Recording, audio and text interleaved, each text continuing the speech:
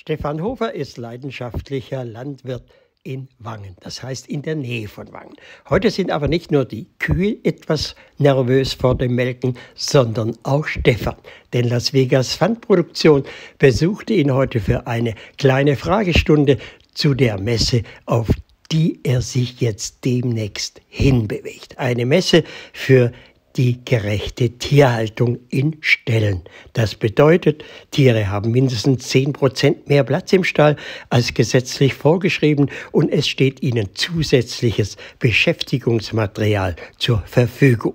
Fleisch von Tieren, das mit dem roten Label der Stufe 1 gekennzeichnet ist, kommt aus Tierhaltung, die dem gesetzlichen Standard entspricht. Und dazu gehört auch der Stall, den er hier auf einer Messe erklären darf und für vertreten darf für seine Firma. Eine tolle Aufgabe neben dem Melken und neben den sonstigen Aufgaben in seinem Stall in Wangen.